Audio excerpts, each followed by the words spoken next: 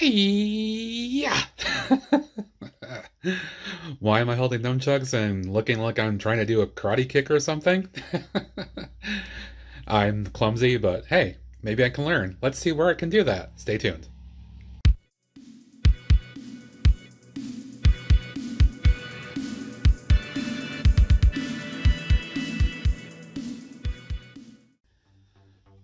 Hello LEGO friends, Matt from Brooks Bricks here with a video taking a look at another MOC that I have just completed.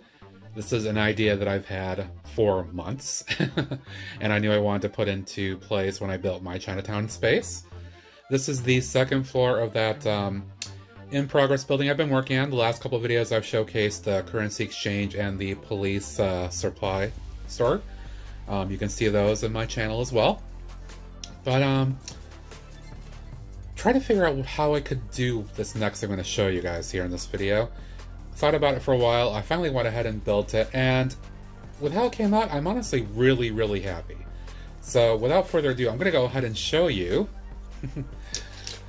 the Karate Dojo. yes. So the front of the building is pretty nondescript, to be honest. It's kind of just kind of a brick facade here with some windows. Um, but you'll see inside lots of action going on here. So the way to get to this building is the back stairway leading up to this platform here in the doorway inside.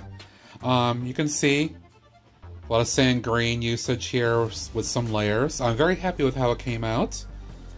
Wanted to use a bunch of those six wide and four wide pieces I picked up from uh, Pick a Brick Hauls. But anyway, let's go ahead and take a look inside the dojo. And we'll start inside the entrance. so first, the doorway here into the small office. And this is the main office for the sensei, the karate master, his house of dojo. So you can see he's got a little computer here, he's got a lamp, a cup of tea, maybe some files, and some kind of plaque or award kind of thing there. Um, I will note that some of the stuff I have for this actually came from set 71735, the Ninjago Tournament of Elements set. Um, a lot of these pieces I'm actually going to save for other Chinatown stuff too, so I'm really happy about getting a lot of pieces from this. But that's where this little, um, where's my finger, this little plaque came from. So I thought it felt it felt right just going in there. So that's that.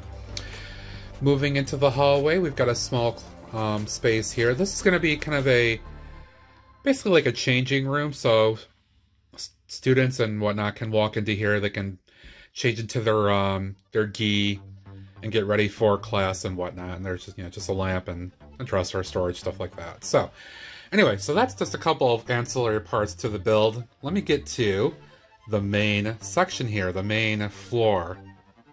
Before I do, kind of the fun that I wanted to have with this is wanted to show maybe this dojo has won a number of awards in tournaments, kind of, you know, Karate Kid and Cobra Kai. Lots of awards here. So the owner, the sensei, is showing off various awards. So I just created some random trophies and things like that based out of pieces I've had. Um, a couple of the gold um, nano figure pieces, um, smaller, I don't even know what that kind of trophy is. Larger, more important ones up here maybe. Particularly this guy here that actually has a Lord of the Rings style ring on it. um, so that works. Next, moving along. This is kind of the audience and just kind of sitting space for folks that are not participating in um, any action on the floor at the moment. They can sit there and observe and watch things. And then, twisting back around the other side, we've got kind of a storage bin for some uh, various weapons of sorts, so nunchucks and uh, forget what they call these, katangs or whatever. I don't think they're not machetes, but um, they do practice with those in the dojo too, so we got a storage place for those. But let me go ahead now and pull out a little bit to show you the main floor. Yes, here we go. I'm actually extremely happy with how this came out. Um, stickers from the Ninjago set, I think, fit perfectly in this space. Um, a couple of larger things to represent kind of like the the sensei's history with karate and whatnot, and a smaller one maybe kind of like a family representation or something like that. But it made me think back to Karate Kid 2 and uh, Mr. Miyagi's um, home in Okinawa, where he's got his little dojo there and the family crest or banners and whatnot for his entire lineage are there. So that's kind of what I'm kind of harkening back with this. A little homage to Karate Kid 2. and then looking on the other wall here, I've actually got one of those mirror pieces that came in the Assembly Square set. Um, this is on the floor where the ballerina is doing her um, her dancing. Just move down just a little bit. Um, but I use kind of similar techniques to hold it in place here so it doesn't fall down, including this little rail piece up here. Yeah, it looks a little off kilter, off center, but it does the job. It holds the mirror in place. And just a little rail there for appearance's sake. Now, of course, the best part of this, the karate class. Now we've got our sensei here. Um, it's actually using one of the figures that came from the Ninjago set. I believe this is like a representation of the Golden Lloyd figure. But I decided to make him into the sensei, so I gave him an old, kind of an older, stern-looking face. Kind of the golden, white, gray hair. And he feels very Mr. Miyagi-ish to me. It's kind of what he's supposed to be. And everybody else around him here are uh, various levels of students. You can tell some of these are figures from the Ninjago set, and others are um, random figures, including a couple of the um, Series 20 uh, Karate Kid figures. But you can see various levels of students are all here kind of in class together. They're learning from their sensei. He's talking about various things, maybe before they start class or after they finished. You can see here we've got all kinds of folks.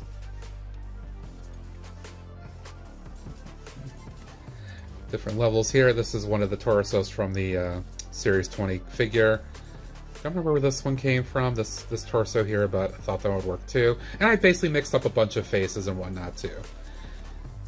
And I put in a girl as well. I wanted to make sure I included at least one girl because I thought it would be important, right? Um, but yeah, I thought this would be a really dynamic scene, and I can always do things later where I can pose them in challenges and stuff like that and make fun little videos for the channel too. Um, but yeah, like I said, I have been waiting months to build this idea. I didn't know how to do it for a long time. I finally went ahead and just did it. Um, but yeah, I'm very, very happy with how this came out. I think it looks fantastic. I think it's fun. Even the, the floor mat with all the color and diversity there, I think just looks fantastic.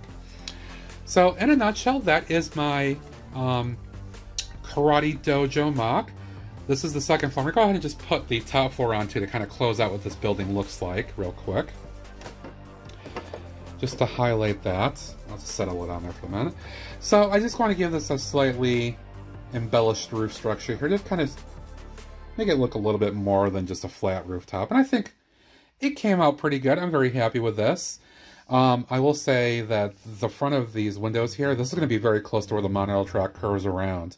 Um, but it's going to work. It's going to look just right, I think. And the, the curve of this will kind of go right over the train. So I think it'll look good. But with that, I'm going to say that's it for now. I hope you enjoyed that look at my little karate dojo. This whole thing will go into Chinatown next to the monorail station. Um, and you will see this in future city updates very, very soon, now that I've got this section completed. So for now, as always, I want to thank my subscribers in particular for your continued support and watching. I'd really appreciate it. If you haven't, hit the subscribe button, hit the like button because I really appreciate that. Share the video, leave some comment below, tell me what you think, all that great stuff. I try to respond to everybody where I can. But until next time, again, thanks for watching, and hiya! See you later.